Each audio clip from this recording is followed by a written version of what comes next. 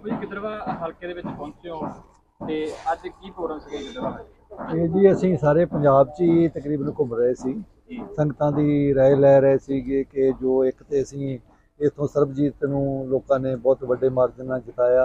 ਤੇ ਅਸੀਂ ਇੱਕ ਮਾਲਵੇ ਦਾ ਵੀ ਦੌਰਾ ਕਰ ਰਹੇ ਹਾਂ ਕਿ ਅਸੀਂ ਸੋਚ ਰਹੇ ਹਾਂ ਕਿ ਇੱਕ ਤੇ ਲੋਕਾਂ ਨੂੰ ਮਿਲਿਆ ਜਾਵੇ ਉਹ ਲੋਕਾਂ ਦਾ ਧੰਨਵਾਦ ਕੀਤਾ ਜਾਵੇ ਕਿ ਜਿਨ੍ਹਾਂ ਨੇ ਇਹਨਾਂ ਦੇ ਜਿਹੜੇ ਸਾਡੇ ਯੋਧਿਆਂ ਦੀ ਕੁਰਬਾਨੀ ਦਾ ਮੁੱਲ ਪਾਇਆ। ਤੇ ਕਿਸੇ ਲੋਭ ਲਾਲਚ ਤੋਂ ਉੱਪਰ ਉੱਠ ਕੇ ਡਰ ਭੈ ਤੋਂ ਮੁਕਤ ਹੋ ਕੇ ਇਹਨਾਂ ਨੇ ਜਿਹੜੇ ਲੋਕਾਂ ਨੇ ਇੰਨਾ ਵੱਡਾ ਸਹਿਯੋਗ ਦਿੱਤਾ ਉਹਨਾਂ ਦਾ ਧੰਨ- ਧੰਨਵਾਦ ਕਰਨਾ ਬਣਦਾ ਸਾਡਾ ਸਾਰਿਆਂ ਦਾ ਤੇ ਸਾਡੀ ਸਾਰੀ ਦੀ ਟੀਮ ਇੱਕ ਆ। ਇਸ ਕਰਕੇ ਅਸੀਂ ਸਾਰੇ ਜਣੇ ਲੋਕਾਂ ਦਾ ਧੰਨਵਾਦ ਕਰਨ ਵਾਸਤੇ ਆਏ ਹਾਂ ਜੀ। ਇੱਕ ਮਨਦੀਪ ਜੀ ਨੂੰ ਇੱਥੋਂ ਕੈਂਡੀਡੇਟ ਲਾਣਾ ਗਏ ਹਾਂਜੀ ਮਨਦੀਪ ਜੀ ਮੇਰੇ ਖਿਆਲ ਹੈ ਕਿ ਕਾਫੀ ਹੱਦ ਤੱਕ ਬਹੁਤ ਸੁਲਝੇ ਹੋਏ ਆ। ਇੱਕ ਦੀਪ ਸਿੱਧੂ ਦੇ ਭਰਾ ਜਿੱਦਾਂ ਇਹਨਾਂ ਨੇ ਕਿਹਾ ਹੋਣ ਦਾ ਉਹਨਾਂ ਨੂੰ ਮਾਣ ਵੀ ਪ੍ਰਾਪਤ ਆ ਕਿ ਜਿਨ੍ਹਾਂ ਨੇ ਸਾਡੀ ਨੌਜਵਾਨੀ ਨੂੰ ਇੱਕ ਸਾਡੇ ਜਿਹੜੇ ਪੰਜਾਬ ਦੀਆਂ ਜਾਂ ਸਾਡੇ ਸਿੱਖਾਂ ਦੇ ਜਿਹੜੇ ਮਸਲੇ ਸੀਗੇ ਉਹਨਾਂ ਨੂੰ ਉਹਨਾਂ ਨੇ ਬਹੁਤ ਗਹਿਰਾਈ ਤੱਕ ਸਮਝਿਆ ਕਿ ਸਟੇਟ ਸਿੱਧਾ ਕਿੱਦਾਂ ਸਾਡੇ ਨਾਲ ਵਿਹਾਰ ਕਰਦੀ ਆ। ਉਹਨਾਂ ਨੂੰ ਪਹਿਲੀ ਵਾਰ ਉਹਨਾਂ ਨੇ ਲੋਕਾਂ ਦੇ ਸਾਹਮਣੇ ਰੱਖਿਆ ਤੇ ਲੋਕਾਂ ਨੇ ਉਹਨਾਂ ਦੀ ਸੋਚ ਤੇ ਫੁੱਲ ਚੜਾਉਂਦਿਆਂ ਹੋਇਆਂ ਇਹ ਅਮਰਤਪਾਲ ਜੋ ਉਹਨਾਂ ਦੀ ਜਿਹੜੀ ਉਹਨਾਂ ਦੀ ਅਹ, ਜਥੇਬੰਦੀ ਦੀ ਅਗਵਾਈ ਕਰਦੇ ਸੀ ਉਹਨਾਂ ਨੂੰ ਵੀ ਲੋਕਾਂ ਨੇ ਬਹੁਤ ਪਿਆਰ ਦਿੱਤਾ। ਉਹਨਾਂ ਨੇ ਵੀ ਜਿਹੜੀ ਉਹਨਾਂ ਨੇ ਜੀ ਦੀਪ ਸਿੱਧੂ ਜਿਹੜੀ ਉਹਨਾਂ ਨੂੰ ਜ਼ਿੰਮੇਵਾਰੀ ਉਹਨਾਂ ਤੋਂ ਬਾਅਦ ਦਿੱਤੀ ਗਈ। ਉਹਨਾਂ ਨੇ ਬੜੇ ਬਖੂਬੀ ਨਿਭਾਈ। ਨੌਜਵਾਨੀ ਚ ਉਹਨਾਂ ਵਾਸਤੇ ਬਹੁਤ ਵੱਡਾ ਪਿਆਰ ਆ। ਉਹਨਾਂ ਨੇ ਖਡੂਰ ਸਾਹਿਬ ਹਲਕੇ ਤੋਂ ਵੀ ਜਿਹੜੇ ਇੱਕ ਬਹੁਤ ਵੱਡੀ ਲੀਡ ਨਾਲ ਪੂਰੇ ਪੰਜਾਬ ਚੋਂ ਜਿਤਾ ਕੇ ਸਿੱਧ ਕਰ ਦਿੱਤਾ ਕਿ ਨੌਜਵਾਨੀ ਦੀਪ ਸਿੱਧੂ ਦੀ ਸੋਚ ਤੇ ਪਹਿਰਾ ਦੇ ਰਹੀ ਹੈ। ਜੀ ਜਿਵੇਂ ਭਾਈ ਅਮਰ ਸਿੰਘ ਅਮਰਪਾਲ ਸਿੰਘ ਖਾਲਸਾ ਜੀ ਵੱਡੀ ਲੀਡ ਤੇ ਜਿੱਤੇ ਸੀਗੇ ਤਾਂ ਉਹਨਾਂ ਨੂੰ ਬਾਹਰ ਨਿਕਲਣ ਦਾ ਜੇ ਆਪਾਂ ਗੱਲ ਕਰੀਏ ਜੇਲ੍ਹ ਤੋਂ ਕਿੱਥੇ ਪ੍ਰੋਸੈਸ ਪਹੁੰਚਿਆ ਜੀ ਉਹ ਗੱਲਬਾਤ? ਇਹ ਤਾਂ ਦੇਖੋ ਜੀ ਸਰਕਾਰ ਦੀ ਪੂਰਾ ਧੱਕੇਸ਼ਾਹੀ ਆ ਜ਼ੁਲਮ ਸਿਤਮ ਜਿਹੜਾ ਕਿ ਉਹ ਸਾਡੇ ਸਿੱਖਾਂ ਦੇ ਜੋ ਵੀ ਹੱਕ ਸੱਚ ਦੀ ਗੱਲ ਕਰਨ ਵਾਲਾ ਉਹਨਾਂ ਨਾਲ ਕਰਦੇ ਆਏ ਤੇ ਕਰੀ ਜਾ ਰਹੇ ਆ।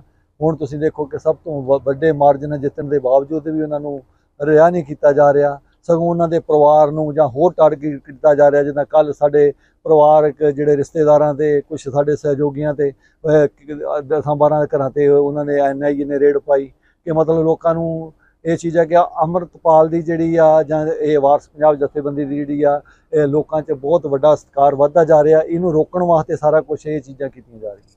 ਗਿੱਦੜਵਾ ਹਲਕੇ 'ਚ ਆਏ ਹੋ ਅੱਜ ਦੇਖਿਆ ਲੋਕਾਂ ਦਾ, ਲੋਕਾਂ ਦੇ ਮੁੱਦੇ ਆ ਜਾਂ ਲੋਕ ਸਾਹਮਣੇ ਆ ਰਹੇ ਆ? ਕਿੰਨੇ ਕੁ ਲੋਕ ਚਾਹੁੰਦੇ ਆ ਵੀ ਪੰਥਕ ਕਿਰਾਂ ਹੀ ਅੱਗੇ ਆਉਣ ਇਹ ਜੀ ਲੋਕਾਂ ਦੇ ਮੁੱਦੇ ਤੇ ਬਹੁਤ ਆ। ਇਹ ਚੀਜ਼ ਹੈ ਕਿ ਇਹ ਮੁੱਦੇ ਤੇ ਜਿਹੜੇ ਆ ਕਿ ਮੇਰਾ ਖਿਆਲ ਹੈ ਕਿ ਐਮਪੀ ਦੀ ਵੀ ਕੋਈ ਲਿਮਟ ਆ ਜਾਂ ਲੋਕਾਂ ਦੇ ਉਹ ਉਹ ਜਿੰਨੇ ਕੁ ਅਸੀਂ ਹੱਲ ਕਰ ਸਕਦੇ ਹਾਂ ਅਸੀਂ ਕੋਸ਼ਿਸ਼ ਕਰਾਂਗੇ ਕਿ ਲੋਕਾਂ ਦੇ ਨਾਲ ਖੜਿਆ ਜਾਵੇ। ਪਰ ਇਹ ਜਿਹੜੀਆਂ ਸਾਡੀਆਂ ਸਰਕਾਰਾਂ ਸਾਡੇ ਨਾਲ ਵਾਅਦੇ ਕਰ ਕਰਕੇ ਝੂਠੇ ਧੋਖੇਬਾਜ਼ੀਆਂ ਕਰ ਕਰਕੇ ਸਰਕਾਰਾਂ ਬਣਾ ਲੈਂਦੇ ਆ ਮੁੜ ਕੇ ਉਹ ਕੁ- ਜਿਹੜੇ ਉਹ ਵਾਅਦੇ ਕਰਕੇ ਆਏ ਉਹਦਾ ਕੋਈ ਉਹਦਾ ਕੁਝ ਵੀ ਨਹੀਂ ਕਰਦੇ। ਇਹ ਸਰਕਾਰਾਂ ਦੀ ਜ਼ਿੰਮੇਵਾਰੀ ਹੈ ਨਸ਼ਾ ਰੋਕਣਾ ਬੇਅਦਬੀਆਂ ਦਾ ਇਨਸਾਫ ਦੇਣਾ ਬੰਦੀ ਸਿੰਘਾਂ ਨੂੰ ਰਿਹਾ ਕਰਾਉਣਾ। ਇਹ ਜਿਹੜੇ ਭਗਵੰਤ ਮਾਨ ਸਾਹਿਬ ਪਹਿਲਾਂ ਸਾਰਿਆਂ ਧਰਨਿਆਂ 'ਚ ਵੀ ਬੈਠ ਖਾਲਸਾ ਜੀ ਅੱਜ ਗਿੱਦੜਵਾ ਹਲਕੇ ਦੇ ਵਿੱਚ ਆਏ ਹੋ। ਕੀ ਪ੍ਰੋਗਰਾਮ ਸੀਗਾ ਜੀ ਅੱਜ ਗਿੱਦੜਵਾ? ਅੱਜ ਗਿੱਦੜਵਾਹਾ ਹਲਕੇ ਦੇ ਵਿੱਚ ਆਏ ਸੀ ਅਸੀਂ। ਇੱਕ ਤਾਂ ਪਿੰਡਾਂ ਦਾ ਧੰਨਵਾਦੀ ਦੌਰਾ ਸੀ। ਦੂਜਾ ਅਸੀਂ ਮਨਦੀਪ ਜੀ ਨੂੰ ਇਹ ਸਾਡੇ ਕੈਂਡੀਡੇਟ ਹੈ ਗਿੱਦੜਵਾਹੇ ਤੋਂ ਜਿਮਨੀ ਚੋਣ ਦੇ ਤੇ ਇਹਨਾਂ ਦੀ ਇੰਟਰੋਡਕਸ਼ਨ ਕਰਾਣੀ ਸੀ। ਇਹ ਦੋ ਕੰਮ ਅਸੀਂ ਆਏ ਸੀ। ਸਵੇਰ ਤੋਂ ਅਸੀਂ ਵਾਵਾ 7-8 ਪਿੰਡਾਂ 'ਚ ਜਾ ਆਏ। ਤੇ ਅਸੀਂ ਆਪਣਾ ਵੀ ਧੰਨਵਾਦੀ ਦੌਰਾ ਕਰ ਲਿਆ। ਇਹ ਵੀ ਸਾਡੇ ਨਾਲ ਪਿੰਡਾਂ ਦੇ ਵਿੱਚ ਸੀ। ਅਸੀਂ ਗ੍ਰਾਂਟਾਂ ਵੀ ਦਿੱਤੀਆਂ ਹੈ। ਤੇ ਇਹਨਾਂ ਦੀ ਇੰਟਰੋਡਕਸ਼ਨ ਵੀ ਕਰਵਾਈ। ਬਾਪੂ ਜੀ ਵੀ ਸਾਡੇ ਨਾਲ ਸੀਗੇ ਸਵੇਰ ਦੇ। ਸਵੇਰ ਤੋਂ ਮਤਲਬ ਅਸੀਂ ਤਿੰਨੇ ਚਾਰੇ ਜਣੇ ਸਾਰੀ ਟੀਮ ਸਾਡੀ ਪਿੰਡ 'ਚ ਹੀ ਵਰਕ ਪਿੰਡਾਂ 'ਚ ਹੀ ਵਰਕ ਕਰਦੀ ਸੀ। ਖਾਲਸਾ ਜੀ ਗਿੱਦੜਵਾ ਹਲਕੇ ਦੇ ਲੋਕਾਂ ਨੇ ਲੋਕਾਂ ਨੂੰ ਮਿਲੇ ਕੁਝ ਮੁੱਦੇ ਵੀ ਦੱਸੇ ਹੋਣਗੇ? ਜਿਮਨੀ ਚੋਣ ਆ ਰਹੀ ਹੈ ਨੇੜੇ ਆ ਰਹੀ ਹੈ। ਨਹੀਂ ਕੋਈ ਨਹੀਂ ਮੁੱਦੇ ਤਾਂ ਉਹਨਾਂ ਨੇ ਕਿਹਾ ਬਈ ਜੀ ਬਾਕੀਆਂ ਤੋਂ ਤਾਂ ਸਭ ਦਾ ਮਨ ਉੱਠ ਗਿਆ ਹੈ। ਬਈ ਉਹ ਕਹਿੰਦੇ ਬਈ ਤੁਸੀਂ ਜਿਹੜਾ ਕੈਂਡੀਡੇਟ ਦਿੱਤਾ ਹੈ ਬਈ ਇਸ ਤੋਂ ਵਧੀਆ ਕੈਂਡੀਡੇਟ ਕਿਸੇ ਵੀ ਪਾਰਟੀ ਕੋਲ ਨਹੀਂ ਹੈ।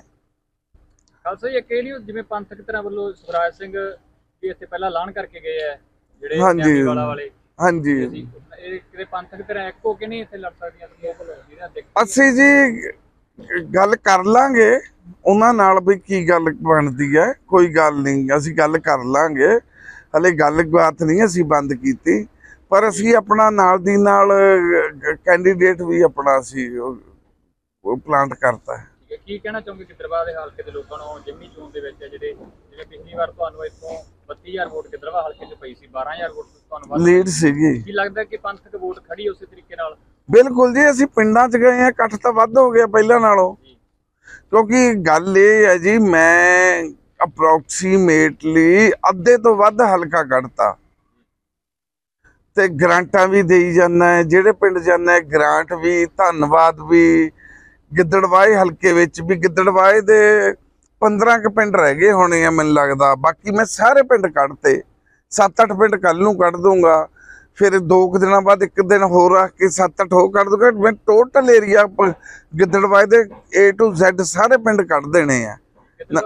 ਕਿਤੇ ਸੀਟ ਹੌਟ ਸੀਟ ਮੰਨੀ ਜਾਂਦੀ ਹੈ ਜੀ। ਵੱਡੇ ਵੱਡੇ ਜਿਵੇਂ ਰਾਜਾ ਵੜਿੰਗ ਵੀ ਹਾਂਜੀ। ਸੁਖਬੀਰ ਬਾਦਲ ਜੀ ਵੀ ਪ੍ਰਧਾਨ ਹੈ ਡੈਂਪੀ ਢਿੱਲੋਂ ਜੀ ਵੀ ਇੱਧਰ ਆ ਚੁੱਕੇ ਆ। ਲੱਗਦਾ ਵੀ ਪੰਥਕ ਵੋਟ ਆ ਜਿਹੜੀ ਜਿਵੇਂ ਐਮਪੀ ਵੇਲੇ ਸੀਗਾ ਜਾਂ ਮੁਕਾਬਲਾ ਦੇ ਪਾਉਗੀ? ਬਿਲਕੁਲ ਜੀ ਬਿਲਕੁਲ। ਮੁਕਾਬਲਾ ਕੀ ਜਿੱਤੂਗਾ? ਮੁਕਾਬਲੇ ਵਾਲੀ ਕਿਹੜੀ ਗੱਲ ਹੈ? ਦੀਪ ਸਿੱਧੂ ਦਾ ਬ੍ਰਦਰ ਹੈ। ਕੌਮ ਨੂੰ ਜਗਾਉਣ ਵਾਲਾ ਜਿਹੜਾ ਜਿਹਨੇ ਜਾਗ ਲਾਇਆ ਹੈ, ਕੌਮ ਨੂੰ ਜਗਾਇਆ ਹੈ ਦੀਪ ਸਿੱਧੂ ਨੇ ਉਹਨਾਂ ਦਾ ਬ੍ਰਦਰ ਹੈ ਇਹ। ਜਿੱਤਣਗੇ ਜੀ ਇਹ। ਪਹੁੰਚਿਓ ਕੈਂਡੀਡੇਟ ਤੁਹਾਨੂੰ ਐਲਾਨਿਆ ਗਿਆ ਪੰਥਕ ਧਿਰਾਂ ਵੱਲੋਂ? ਕੀ ਕਹਿਣਾ ਚਾਹੋਗੇ? ਨਹੀਂ ਦੇਖੋ ਅਸੀਂ ਅੱਜ ਬਾਈ ਸਰਬਜੀਤ ਸਿੰਘ ਜੀ ਖਾਲਸਾ ਤੇ ਬਾਪੂ ਤਰਸੇਮ ਸਿੰਘ ਜੀ ਨਾਲ ਹਲਕੇ ਦਾ ਜਿਵੇਂ ਕਹਿ ਲਈਏ ਵੀ ਧੰਨਵਾਦੀ ਦੌਰੇ 'ਚ ਆਏ ਹੋਏ ਆ। ਤੇ ਜਿਹੜਾ ਕੈਂਡੀਡੇਟ ਵਾਲੀ ਗੱਲ ਆ ਉਹ ਵੀ ਸਾਰਿਆਂ ਦਾ ਪੰਥਕ ਫੈਸਲਾ ਹੈਗਾ। ਜੋ ਵੀ ਹੋਊਗਾ ਸਾਡੇ ਸਿਰ ਮੱਥੇ ਹੈਗਾ। ਤੇ ਪਰ ਪਰ ਇਹਦੇ ਵਿੱਚ ਇੱਕ ਪਰਿਵਾਰਕ ਡਿਸੀਜਨ ਆ। ਪਰਿਵਾਰ ਮੈਂ ਤੁਸੀਂ ਜੋ ਸੋਚ ਰਹੇ ਹੋ ਉਹ ਨਹੀਂ। ਪਰਿਵਾਰ ਪਰਿਵਾਰ ਉਹ ਆ ਜੋ ਦੀਪ ਬਾਈ ਨੂੰ ਚਾਹਣ ਵਾਲੀ ਸੰਗਤ ਆ ਜੋ ਬਾਈ ਦੇ ਫਿਊਨਰਲ ਤੇ ਲਾਸਟ ਰਾਈਟਸ ਤੇ ਉੱਥੇ ਪਹੁੰਚੇ ਜਾਂ ਬਾਈ ਦੇ ਭੋਗ ਤੇ ਆਪਣੇ ਫਤਿਹਗੜ੍ਹ ਸਾਹਿਬ ਆਏ ਸੀਗੇ ਉਹ ਸਾਡਾ ਪਰਿਵਾਰ ਆ। ਜੋ ਵੀ ਫੈਸਲਾ ਹੋਊਗਾ ਸਾਡੇ ਸਿਰ ਮੱਥੇ ਆ। ਇੱਕ ਲੱਗਦਾ ਨਹੀਂ ਵੀ ਪੰਥਕ ਧਿਰਾਂ ਇੱਕ ਉਮੀਦਵਾਰ ਜਿਵੇਂ ਤੁਹਾਨੂੰ ਐਲਾਨਿਆ ਗਿਆ ਜੇ ਬਾਕੀ ਦੇ ਉਮੀਦਵਾਰ ਵੀ ਐਲਾਨ ਕਰ ਚੁੱਕੇ ਕੁਝ ਤਾਂ ਲੱਗਦਾ ਨਹੀਂ ਵੀ ਇੱਕ ਪਲੇਟਫਾਰਮ ਤੇ ਆ ਕੇ ਜਾਂ ਇਕੱਠੇ ਹੋ ਜਾਣਗੇ। ਬਿਲਕੁਲ ਇਹ ਤਾਂ ਹੈ ਹੀ ਹੈ ਜੀ ਜਿਵੇਂ ਬਾਈ ਸਰਬਜੀਤ ਸਿੰਘ ਖਾਲਸਾ ਜੀ ਨੇ ਕਿਹਾ ਵੀ ਸਾਡੀ ਗੱਲ ਚੱਲ ਰਹੀ ਹੈਗੀ। ਤੇ ਅਸੀਂ ਉਮੀਦ ਇਹੀ ਆ ਵੀ ਅਸੀਂ ਇੱਕ ਹੀ ਕੈਂਡੀਡੇਟ ਪੰਥਕ ਇੱਕ ਹੀ ਕੈਂਡੀਡੇਟ ਲੈ ਕੇ ਆਵਾਂਗੇ। ਬੇਸ਼ੱਕ ਐਮਪੀ ਵੇਲੇ ਇੱਕ ਤਰਫਾ ਮਾਹੌਲ ਹੋ ਗਿਆ ਸੀਗਾ। ਗੱਲ ਕਰੀਏ ਆਪਾਂ 32000 ਵੋਟ ਪੈ ਗਈ ਸੀ ਸਮਥਿੰਗ 12000 ਵੋਟ ਵੱਧ ਪਈ ਸੀਗੀ। ਕੀ ਲੱਗਦਾ ਕਿ ਹੁਣ ਹੌਟ ਸੀਟ ਹੈ ਇਹ। ਇੱਕ ਪਾਸੇ ਪ੍ਰਧਾਨ ਅਮਰਿੰਦਰ ਸਿੰਘ ਰਾਜਾ ਵੜਿੰਗ ਵੀ ਹੈ ਜਾਂ ਡੈਂਪੀ ਢਿੱਲੋਂ ਹੈ ਸੁਖਬੀਰ ਬਾਦਲ ਮਨਪ੍ਰੀਤ ਬਾਦਲ ਵੀ ਹੈ ਵੱਡੇ ਵੱਡੇ ਨੇਤਾ ਉਹਨਾਂ ਨਾਲ ਲੱਗਦਾ ਕਿ ਪੰਥਕ ਵੋਟ ਨੂੰ ਨਾਲ ਲੈ ਪਾਉਣਾ ਔਰ ਉਹਨਾਂ ਦਾ ਮੁਕਾਬਲਾ ਕਰ ਪਾਉਣਾ ਕਿੰਨਾ ਕੁ ਲੱਗਦਾ? ਦੇਖੋ ਜਿਹੜੀ ਇਹ ਗੱਲ ਆ ਵੀ ਆਪਾਂ ਕਹਿ ਲਈਏ ਪੰਥ ਜਦੋਂ ਪੰਥ ਪੋਲੀਟੀਕਲ ਪਾਰਟੀਆਂ ਤੋਂ ਉੱਪਰ ਆ ਜਾਂਦਾ ਜੇ ਤੁਸੀਂ ਪੰਥ ਦਾ ਮੁਕਾਬਲਾ ਦੂਜਿਆਂ ਨਾਲ ਕਰੋਗੇ ਤਾਂ ਪੰਥ ਹਮੇਸ਼ਾ ਉੱਪਰ ਹੀ ਰਹਿਣਾ ਤੇ ਇਹ ਗੱਲ ਆ ਵੀ ਪੋਲੀਟੀਕਲ ਪਾਰਟੀਆਂ ਠੀਕ ਆਪਦਾ ਜ਼ੋਰ ਲਾਉਣਗੀਆਂ, ਪਰ ਜੋ ਪੰਥਕ ਫੈਸਲੇ ਹੈਗੇ ਆ ਤੇ ਉਹਦੇ ਹਿਸਾਬ ਨਾਲ ਅਸੀਂ ਪੰਥ ਦੇ ਪ੍ਰਤੀ ਸੱਚਿਆਂ ਹੋ ਕੇ ਲੜਨਾ, ਬਾਕੀ ਆਪੇ ਗੁਰੂ ਮਹਾਰਾਜ ਕਿਰਪਾ ਕਰਨਗੇ ਜੀ। ਜੀ, ਤੁਹਾਡਾ ਕੀ ਰਹੂਗਾ ਗਿੱਦਰਵਾ ਦੇ ਵਿੱਚ? ਤੁਸੀਂ ਐਮਐਲਏ ਬਣ ਜਾਂਦੇ ਹੋ ਕਿ ਕਿਹੜੇ ਮੁੱਦੇ ਤੋਂ ਲੱਗਦਾ ਗਿੱਦਰਵਾ 'ਚ ਨਹੀਂ ਹੋਏ ਹੱਲ ਜਿਹੜੇ ਤੁਸੀਂ ਕਰੋਗੇ ਆਉਣ ਵਾਲੇ critical ਦੇਖੋ ਇਹ। ਜਿਹੜੇ ਮੁੱਦੇ ਹੈਗੇ ਆ ਜੀ ਬਹੁਤ ਮੁੱਦੇ ਆ ਇਸ ਹਿਸਾਬ ਨਾਲ ਜਿਵੇਂ ਹੁਣ ਵਿਚਰਨ ਲੱਗੇ ਆਂਗੇ ਤਾਂ ਹੌਲੀ ਹੌਲੀ ਸਾਰੇ ਮੁੱਦਿਆਂ ਬਾਰੇ ਵੀ ਜਾਣੂ ਹੋਏ ਆ ਹੌਲੀ ਹੌਲੀ ਜਿਵੇਂ ਹੁਣ ਪਤਾ ਲੱਗਿਆ ਅੱਜ ਪਿੰਡ 'ਚ ਜਿਹੜਾ ਸਭ ਤੋਂ ਨਿਕਾਸੀ ਵਾਲਾ ਪਾਣੀ ਦਾ ਟੋਬਿਆਂ ਦੀ ਨਿਕਾਸੀ ਵਾਲਾ ਉਹ ਮੁੱਦਾ ਬਹੁਤ ਵੱਡਾ ਗਾ ਜੀ। ਫਿਰ ਪਿੰਡ 'ਚ ਜੇ ਆਪਾਂ ਗੱਲ ਕਰ ਲਈਏ ਨਸ਼ਿਆਂ ਦੇ ਪ੍ਰਤੀ ਬਹੁਤ ਨੌਜਵਾਨੀ ਨੂੰ ਧੱਕਾ ਲੱਗ ਰਿਹਾ ਗਾ ਉਹਦੇ ਕਾਰਜ ਜਿਵੇਂ ਪਹਿਲਾਂ ਭਾਈ ਅੰਮ੍ਰਿਤਪਾਲ ਸਿੰਘ ਖਾਲਸਾ ਜੀ ਨੇ ਇੱਕ ਮੁਹਿੰਮ ਵਹੀ ਚਲਾ ਕੇ ਇਸ ਚੀਜ਼ ਨੂੰ ਠੱਲ ਪਾਉਣ ਦੀ ਕੋਸ਼ਿਸ਼ ਕੀਤੀ ਸੀ। ਕੋਸ਼ਿਸ਼ ਇਹੀ ਹੈ ਵੀ ਉਹ ਸਾਰੀਆਂ ਚੀਜ਼ਾਂ ਅੱਗੇ ਲੈ ਕੇ ਜਾਈਏ।